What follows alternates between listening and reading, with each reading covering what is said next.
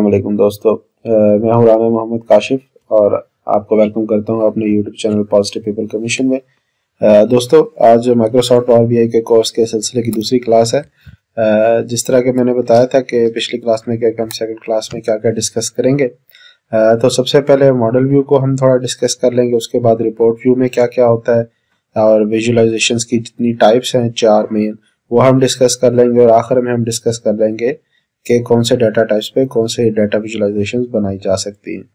और ये जो आखिर में मैं बताऊँगा, ये बड़ा इंपॉर्टेंट है, इसलिए वीडियो में आखिर तक स्टिक रहिएगा। और ताकि ऊपर आप वो विजुलाइजेशन समझ भी लें ये वाली जो कि चार्ट है टेक्स्ट है जियो स्पेशल है कस्टम है, और फिर उनको हम किस किस तरह, कहाँ कहाँ, किस डाटा सेट का यूज़ कर सकते हैं तो वो भी मैं आपको बताऊँगा। तो दोस्तों स्टार्ट करते हैं एक मॉडल व्यू के एक रियल लाइफ एग्जांपल से। आप इस वीडियो को पॉज करके कंप्लीट पर, पढ़ भी सकते हैं। मैं इसका ओवरव्यू दे सकता हूँ आपको कि एक for example toy for kids incorporation एक कंपनी है। Uh, उसने टॉयज बनाती है बच्चों के लिए। तो उसके टॉयज की सेल्स में इंक्रीज हो जाता है। Uh, तो वो ऑब्ज़र्व करना चाहते हैं या फाइंड आउट करना चाहते हैं कि ये किस तरह इंक्रीज हो गया है। तो वो पावर बी के मॉडल में गए तो उन्होंने देखा कि जो पोस्टल कोड्स है एक जगह के और जो बायर की एज है उसमें कोई रिलेशनशिप है। तो जब उन्होंने पोस्टल कोड के डाटा सेट में जाकर देखा तो वहाँ पर जो बायर्स की एज थी, वो यंग फैमिलीज़ की थी। उन यंग फैमिलीज़ से उन्होंने ये अंदाज़ा लगाया कि यंग फैमिलीज़ में चूँकि जो किड्स होंगे, उनकी age zero to three years के दरमियान होगी। तो उन्होंने इस डाटा सेट की इस फाइंडिंग से इस मॉडल से फ़ायदा उठाते हुए जो यंग फैमिलीज़ थी, उनके लिए मजीद टारगेटिंग शुरू की, जिसकी वजह से अल्टीमेटली उनके सेल्स रेवेन्यू इंक्रीज हो गए। तो मॉडल व्यू में ये एक बड़ा डिटेल में आप देख सकते हैं। इधर मैं थोड़ा सा इसको जूम करके आपको दिखा देता हूँ कि किस तरह इस मॉडल में जो कस्टमर की एज थी, आप देखिए वो पोस्टल कोड के साथ कनेक्टेड थी, जो इस डाटा सेट में है। तो ये स्क्रीन है, अगर इसकी डायग्राम में जाऊँ तो एक पोस्टल कोड के साथ इस डाटा सेट से कनेक्टेड है। तो इसे हम फाइंड आउट कर सकते हैं कि ये किस तरह एक दूसरे के साथ रिलेशनशिप क्रिएट कर रही थी। और अगर मैं इसमें जाऊँ सेल्स डाटा सेट में, जिस तरह की पिछली क्लास में मैंने बात की थी तो अगर एक डिफरेंट डाटा सेट होगा प्रोडक्ट का, वो मैं लेके आता हूँ तो वो प्रोडक्ट आईडी और प्रोडक्ट की भी आपस में मैच कर जाएँगी। तो मैं इसको यहाँ पे रुकूँगा और इसको एक एक्सेल की फ़ाइल के साथ पहले कनेक्ट करके दिखाऊँगा, फिर आगे स्लाइड में चलूँगा। तो ये एक्सेल की फ़ाइल है, जिसमें प्रोडक्ट कीज हैं और उस प्रोडक्ट के अगेंस्ट कौन कौन सा ग्रुप है और उसमें कौन कौन सा आइटम आ रहा है, ये सारी डिटेल इसमें लिखी हुई है। तो अब मैं ये करता हूँ कि मैं इस डाटा सेट को पावर बीआई में लेके आता हूँ और फिर इसको कनेक्ट करता हूँ अपने सेल्स डाटा सेट के साथ, जैसा कि हमने पिछली क्लास में इंपोर्ट किया था। तो अब मैं पावर बीआई पे आ जाता हूँ और मैं यहाँ पर आकर एक अपनी एक्सेल वर्कबुक से कनेक्ट करता हूँ। तो यहाँ पर मैं अपनी प्रोडक्ट का जो डाटा सेट है, उस पर डबल क्लिक करके इसको लोड कर लूँगा यहाँ पर। और सेल्स का डाटा सेट पहले ही मौजूद है मेरे पास। तो प्रोडक्ट का डाटा सेट भी यहाँ पर आ रहा है। और ये देखिए जो प्रोडक्ट के डाटा सेट की ये है तो इस पर मैं क्लिक करके इसको यहाँ पर लोड कर लूँगा। यहाँ पर मैं इसको लोड कर लूँगा। और फिर मैं इस, इसमें थोड़ी सी हमें ट्रांसफॉर्मेशन चाहिए होगी। मैं ज़रा ट्रांसफॉर्म डाटा में जाता हूँ। और फिर आपको बताता हूँ कि हमें किस तरह की ट्रांसफॉर्मेशन चाहिए होगी यहाँ पर। अब ये हमारा जो प्रोडक्ट डाटा सेल्स डाटा में हम जो कुछ कर चुके थे, वो मैं पिछली वीडियो में बता चुका हूँ। आप मेरी प्लेलिस्ट में जाकर भी देख सकते हैं उसकी पहली वीडियो को। और अभी मैं प्रोडक्ट में अगर देखूँ तो ये जो प्रोडक्ट नेम है, ये सिर्फ़ प्रोडक्ट लिखा हुआ है साथ। अल्टीमेटली इसके साथ कोई यूनिक जो चीज़ है, वो सिर्फ़ की है। और अगर ऑब्ज़र्व करें तो ये आईडी ही एक्चुअली की है। तो एक तरह से ये कॉलम आपको रिडंडेंट सा नज़र आ रहा है कि सिर्फ़ एक प्रोडक्ट प्रीफिक्स लिखा हुआ है, लेकिन एक्चुअली ये आईडी ही यूनिक आइटम है। तो मैं क्या करूँगा? मैं इस कॉलम को डिलीट कर दूँगा। यहाँ से मैं रिमूव कॉलम पे क्लिक करूँगा, ये डिलीट हो जाएगा, और इसको मैं नाम दे दूँगा प्रोडक्ट आईडी का। अब ये मेरे पास प्रोडक्ट आईडी यहाँ पर आ चुकी है। उसी तरह एक स्टेप यहाँ पे ऐड हो गया, मेरे पास पावर क्वेरी पे। और अब मैं क्लोज एंड अप्लाई पे क्लिक करूँगा तो ये मेरे मॉडल में लोड हो जाएगा। ये देखिए टेबल व्यू है और ये मॉडल व्यू है। अब मैं मॉडल व्यू में जाऊँगा तो उसने ऑटो डिटेक्ट कर लिया है कि प्रोडक्ट आईडी और प्रोडक्ट की में कोई रिलेशनशिप है। तो अगर मैं इस पर क्लिक करूँगा तो मुझे ये बता भी देगा कि किस तरह का रिलेशनशिप है। ये मैनी टू वन रिलेशनशिप यहाँ पर स्टेब्लिश हो चुका है। ठीक है? दो तरह के टेबल्स में प्रोडक्ट में और सेल्स डाटा सेट में। तो इस तरह हम जो है वो एक रिलेशनशिप स्टेब्लिश कर सकते हैं। कमिंग बैक टू प्रेजेंटेशन जो ये मैं तस्वीर आपको दिखा रहा था ये एग्जैक्टली exactly मैंने यहाँ पर अभी क्रिएट कर लिया नेक्स्ट चलते हैं। तो ये तो अभी मैंने आपको एक एग्ज़ाम्पल बता दी है। आ, लेकिन बेसिकली जो ये क्रिएट होता है, जितना मॉडल में व्यू क्रिएट होता है, फिर उसको टेबल्स की शक्ल में जिस तरह यहाँ पे नज़र आता है, यहाँ पर ये आप देख रहे हैं। ये बेसिकली पावर पेवट के ज़रिए आता है। जो लोग एडवांस एक्सेल यूज़ करते हैं, उनको पता है कि पावर पेवट से हम डाटा मॉडलिंग भी कर सकते हैं डिफरेंट टेबल्स के अंदर रिलेशनशिप क्रिएट कर सकते हैं। तो पावर बीआई में जो है, वो डेक्स के ज़रिए ये होता है। डाटा एनालिसिस एक्सप्रेशन एक लैंग्वेज है, जो हम एडवांस लेवल में जाके पढ़ेंगे उसके ज़रिए यहाँ पर हम रिलेशनशिप भी क्रिएट कर सकते हैं। अब हम नेक्स्ट चलते हैं। मॉडल व्यू तो हमने समझ लिया। अब रिपोर्ट व्यू क्या होता है? Report view basically power view होता है, जहाँ पर हम अपनी डाटा विजुअलाइजेशंस बना सकते हैं और एक अच्छा सा डैशबोर्ड क्रिएट कर सकते हैं। And we can literally bring data to life so visualisations क्या होती हैं बेसिकली विजुअलाइजेशन बेसिकली एक विजुअल रिप्रेजेंटेशन है एक डाटा की। वो ग्राफ हो सकता है, वो कोई चार्ट हो सकता है, वो कोई स्कैटर प्लॉट हो सकता है। मतलब कोई भी जो विजुअल होता है, वो इवन पिक्टोरियल ग्राफ हो सकता है, किसी की पिक्चर्स का ग्राफ हो सकता है। पावर बी में ये कस्टमाइजेबल होते हैं और इनका डाटा चेंज होने के साथ ये डायनामिकली चेंज भी हो सकते हैं। और इसके साथ साथ हम इनको अपने ऑडियंस को सामने मद्देनजर रखते हुए हम इसकी इंटरप्रिटेशन भी कर सकते हैं।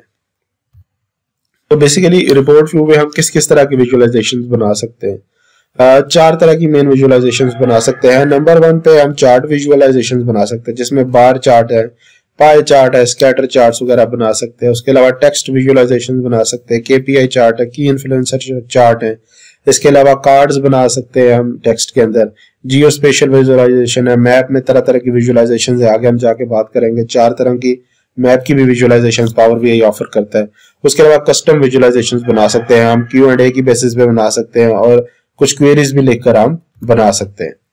तो पहले की अगर मैं बात करूँ जो चार्ट विजुअलाइजेशन है, उसमें डिफरेंट तरह के चार्ट्स हो सकते हैं। फॉर एग्जांपल बार चार्ट है पाई चार्ट है स्कैटर चार्ट है। जब हम दो या दो से ज़्यादा चीज़ों के दरमियान रिलेशनशिप देखना चाह रहे हो तो उसके लिए हम बना लेते हैं बार चार्ट और पाई चार्ट या स्कैटर चार्ट्स बना सकते हैं। अब बार चार्ट बेसिकली रिलेशनशिप नहीं दिखा रहा होता। बार बार चार्ट एक सर्टन कैटेगरीज के अगेंस्ट एक फ्रीक्वेंसी दिखा रहा होता है। और इसी तरह एरिया चार्ट जो है, जिस तरह के आपको यहाँ पे नज़र भी आ रहा है, वो एक सर्टन कैटेगरीज के अगेंस्ट एक परसेंटेज या नंबर ऑफ़ वैल्यूज़ दिखा रहा होता है, जो कि वेरिएबल हो सकती है आइधर नेगेटिव साइड पे भी या पॉजिटिव साइड पे भी, कि वो कितना परसेंटेज उस ट्रेंड का कवर कर रही है।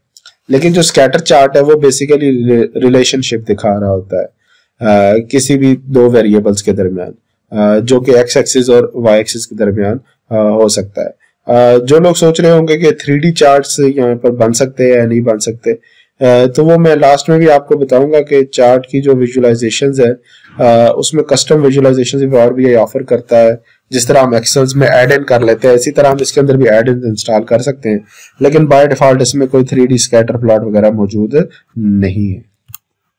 नेक्स्ट अगर मैं बात करूँ बल्कि नेक्स्ट जाने से पहले मैं चार्ट विजुअलाइजेशंस के बारे में आपको पावर बी में दिखा दूँ कि ये कहाँ पर होती है। अगर मैं रिपोर्ट व्यू में जाऊँ तो यहाँ पर आप देखिए, ये चार्ट विजुअलाइजेशन है। ये आपके पास स्टैक बार चार्ट है कॉलम चार्ट है क्लस्टर्ड बार चार्ट है, इसी तरह कॉलम चार्ट भी आ रहे हैं। लाइन चार्ट है एरिया चार्ट है स्टैक्ड एरिया चार्ट है, ठीक है? स्टैक से मुराद ये कि वो उस पर सर्टन कैटेगरी के अगेंस्ट शो शो कर रहा होता है उसके साथ।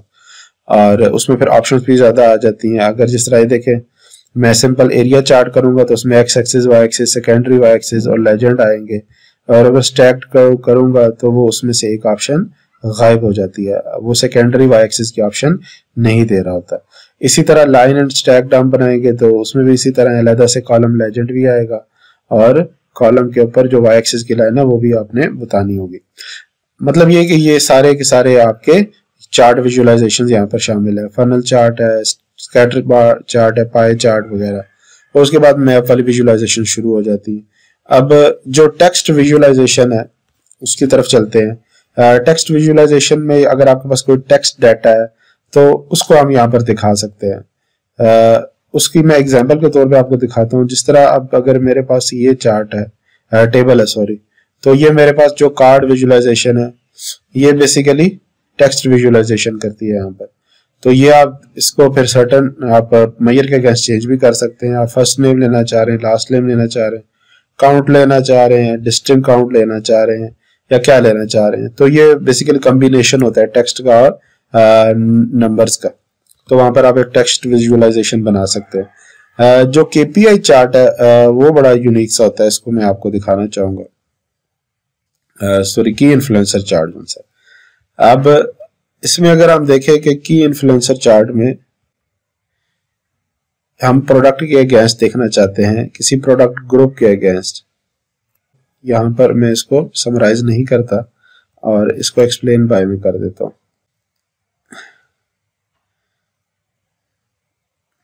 ये देखिए अब ये रनिंग एनालिसिस कर रहा है और आप देखिए, इसने खुद एक एनालिसिस करके जितने की इन्फ्लुएंसर्स थे सेल्स पर्सन और प्रोडक्ट ग्रुप में, अब ये दोनों डाटा सेट कनेक्टेड हैं प्रोडक्ट की के साथ, जिस तरह की पहले मैंने मॉडल व्यू में बताया।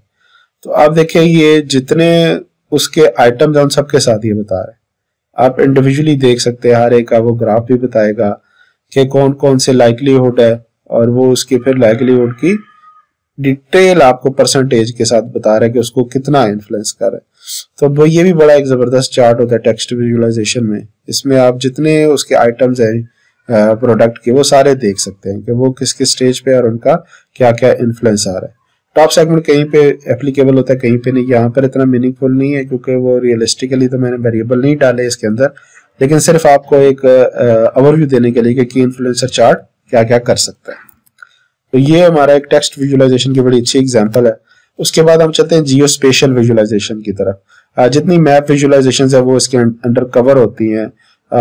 जो सबसे सबसे ज़्यादा यूज़ होती है वो इसमें मैप विजुअलाइजेशन यूज़ होती है।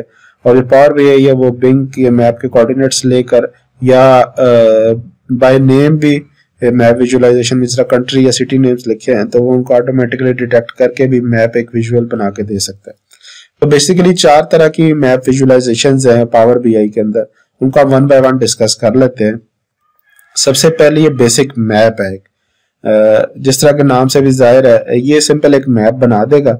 जिसपे आपकी क्वांटिटेटिव इंफॉर्मेशन जो है, वो सर्टन जियोग्राफिकल लोकेशन के अगेंस्ट शो कर देगा। बेसिक मैप कहाँ पर होता है पावर बी के अंदर, ये मैं आपको बता दू। बेसिक मैप ये होता है। अगर मैप आप क्रिएट करेंगे तो वो ये बेसिक मैप होगा। ठीक है? इस तरह का ये मैप होता है। और इस पर मैं सर्टन थ्रो करूँगा तो वो सारी की सारी मुझे बता देगा कि एक सर्टन जियोग्राफिकल लोकेशन के अगेंस्ट मेरी वो जो क्वांटिटी है उसको यहाँ पर बबल्स के साथ शो कर देगा, जिस तरह इस एग्जांपल में शो की भी हुई है। तो नेक्स्ट मैं चलता हूँ बेसिक मैप हो गया, उसके बाद आर्क जी आई मैप है। बेसिकली ये हीट मैप की तरह ही है जिस तरह के नाम से भी ज़ाहिर है जी आई एस मैप है ये। जितने हमारे हॉटस्पॉट्स वगैरह होते हैं, उनको ये यहाँ पर शो कर देता है और ये यहाँ पर मौजूद होता है। अभी ये यहाँ पर बन नहीं सकता क्योंकि मेरे पास उस तरह का डाटा मौजूद नहीं है। तो ये भी एक एग्जांपल है, अगर आप ये जी आई एस मैप बनाना चाहते हैं तो वो भी यहाँ पर बन सकता है। उसके बाद एजोर मैप है। ये बेसिकली कलर ह्यूज के साथ और कलर इंटेंसिटीज के साथ जियोग्राफिकल लोकेशंस के अगेंस्ट डाटा मैप करके देता है। कि एक सर्टन डाटा इंटेंसिटी है तो उस पर लोअर वैल्यूज़ है डाटा इंटेंसिटी ज़्यादा है तो वहाँ पे हायर वैल्यूज़ है। तो इस तरह का एक लेयर्ड मैप ये बना कर देता है, ये यहाँ पर मौजूद होता है एजोर मैप के नाम से। तो इस पे आप क्लिक करेंगे तो खैर वो एजोर मैप के भी मेरे पास नहीं है डाटा उस तरह का नहीं है तो इस तरह का ये अभी बन नहीं सकता।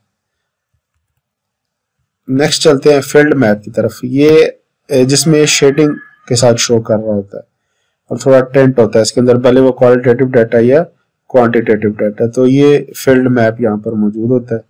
इसमें भी आप बना सकते हैं। ये मैप और फ़ील्ड मैप तकरीबन तकरीबन सेम होते हैं, लेकिन बस फ़ील्ड मैप के अंदर जैसा नाम से भी ज़ाहिर, वो एक सर्टन कलर्स के साथ फिल कर देता है। अब कस्टम विजुअलाइजेशंस की तरफ़ आते हैं, ये बड़ी इंटरेस्टिंग होती है। इसमें हम सर्टन क्यू एंड ए के अगेंस्ट बना सकते हैं जो कि डाटा टू डाटा वेरी करेगी। मैं एक, बना के आपको इधर दिखाता हूँ। अब यहाँ पर आप देखिए कि क्यू एंड ए वाला विजुअल है। अगर मैं क्यू एंड ए पे क्लिक करता हूँ, कुछ वो ऑटो आपको बना के दे देगा। बाकी आप अपनी सवाबदीद के तहत उसको एडिट भी कर सकते हैं। मैं इसको से जो। अब देखिए, इस डाटा सेट के अंदर जितने क्यू एंड ए बन सकते थे, वो उसने बना के दिए। अगर मैं उसे कहूँ सारी सजेशन बता दे तो वो बता देगा। What is the average quantity तो अगर मैं एवरेज क्वांटिटी पे क्लिक करूँगा तो वो मुझे इसका बताएगा कि इसमें कितनी एवरेज क्वांटिटी है? मोस्ट रिसेंट सेल्स कितनी है? ठीक है। काउंट प्रोडक्ट्स कितनी है? ये बता देगा। 798 प्रोडक्ट्स हैं, ठीक है? इसी तरह बाकी भी आप हाउ मैनी प्रोडक्ट्स करेंगे तो कितनी प्रोडक्ट्स हैं तो वो बता देगा कितनी प्रोडक्ट्स हैं। तो इस तरह क्यू एंड ए के थ्रू भी हम यहाँ पर विजुअलाइजेशन बना सकते हैं कस्टम विजुअलाइजेशन अब हम चलते हैं सबने, सबसे इम्पोर्टेंट चीज़ आज के वीडियो में कि डाटा विजुअलाइजेशन किस तरह चूज़ की जाए। कौन से वेरिएबल के अगेंस्ट अब सबसे पहले मैं अगर लाइन चार्ट की बात करूँ तो individual data points for a changing variable are connected with a continuous line तो जब चेंजिंग वेरिएबल सिंगल कैटेगरी में हो, और जब changing variable more than one category में हो तो स्टैक्ड होगा। ठीक है अगर सिंगल कैटेगरी में है तो वो एक सिंपल लाइन चार्ट बनेगा स्टैक्ड नहीं बनेगा। इसी तरह कॉलम चार्ट के लिहाज से भी हम देखें तो individual data for a changing variable represented as a vertical column changing variable single पे है तो इसी तरह ग्रुप पे है कि एक एक ही चीज़ के डिफरेंट ग्रुप्स बने हुए हैं और when the variable changes applies to more than one category so you want to compare together categories uh, without the spread of a group. तो हम उसके अंदर ही स्टैक बना लेते हैं। इसी तरह हमारे पास हॉरिजॉन्टल बार चार्ट्स हैं। उनको भी हम देख सकते हैं। सिंपल दोनों में सिर्फ़ कॉलम और हॉरिजॉन्टल लाइन का फ़र्क है। बाकी दोनों एक ही चीज़ है। दूसरे हम पार्ट की तरफ़ चलते हैं कि जो लाइन चार्ट्स हैं, उनमें और एरिया चार्ट्स में बेसिकली क्या फ़र्क होता है। जो लाइन चार्ट है ना, वो ओवर टाइम होते हैं। और बेसिकली स्टैक्ड जब होगा तो वो change over time for multiple items आ जाएगा। एरिया चार्ट जो है सिंगल हम तब बनाते हैं जब वेरिएबल चेंज सिंगल कैटेगरी में ओवर टाइम पे। और जब डाटा अलाइन और हुआ एक्स एक्सिस के साथ तो वो डिफरेंट टाइम पॉइंट्स पे बनता है। उसको अनस्ट्रैक्ट हम कहते हैं। उसमें ये डिफरेंट कलर्स के साथ शो होता है। और स्ट्रैक्ट ये होगा जब वो डाटा अलाइन होता है एक्स एक्सिस के साथ। मतलब सेम टाइम पीरियड पे होता है। अगर सेम पे नहीं होगा तो फिर वो अनस्टैक्ड होगा। इसी तरह अगर हम बात करें हिस्टोग्राम की तो हिस्टोग्राम बेसिकली हर रेंज ऑफ़ जो एक सर्टन कैटेगरी होती है वैल्यूज़ की, उसके अगेंस्ट जो उसकी फ्रीक्वेंसी होती है, उसके अगेंस्ट हमें शो करके देता है कि वो क्या आ रही है। अब जिस तरह ये सर्टन क्लासेस बनी हुई हैं डिफरेंट रेंजेस बनी हुई हैं तो उसके अंदर उन ग्रुप्स की क्या फ्रीक्वेंसी है उसको हिस्टोग्राम कहते हैं। तो बेसिकली ये स्टेटिस्टिक्स में डेंसिटी यूज़ करने के लिए शो किया जाता है कोई किसी भी डिस्ट्रीब्यूशन के लिए प्रोबेबिलिटी डिस्ट्रीब्यूशन के लिए। स्कैटर चार्ट जिस तरह पहले पिछले मैंने बताया कि दो वेरिएबल्स के रिलेशनशिप के लिए यूज़ होता है Uh, कि क्या रिलेशनशिप है इन दो वेरिएबल्स का आपस में uh, कि वो लीनियर है या नॉन लीनियर है या कर्वी लीनियर है पॉजिटिव रिलेशनशिप है नेगेटिव रिलेशनशिप है, कोई रिलेशनशिप नहीं है तो ये स्कैटर चार्ट हमें बता सकता है। बबल चार्ट्स वो डाटा की इंटेंसिटी यूज़ करने के लिए यूज़ होते हैं, जिनकी फ्रिक्वेंसी ज़्यादा होती है तो वो उनको ज़्यादा अच्छे तरीके से इनलार्ज करके शो करता है, जो उनका रिलेटिव साइज़ होता है। उसके बाद पाए चार्ट है और डोनट चार्ट यूज़ होते हैं। पाए चार्ट जो है वो टू डायमेंशनल थ्री डायमेंशनल भी हो सकता है, लेकिन यूजुअली थ्री डायमेंशनल कॉशन के साथ यूज़ करना चाहिए। अनलेस हमारे पास कोई अनअवॉइडेबल सिचुएशन हो। इसके अलावा जो टू डी पाई चार्ट होता है, वो सिंपल कैटेगरीज की परसेंटेज यूज़ करने के लिए शो होते हैं। डोंट चार्ट में हम सेपरेट कर लेते हैं, उनको हम स्लाइस आउट करके बता सकते हैं एक सर्टन कैटेगरीज की परसेंटेज क्या है, जो कि adding up to a whole percentage होती है विच इज़ हंड्रेड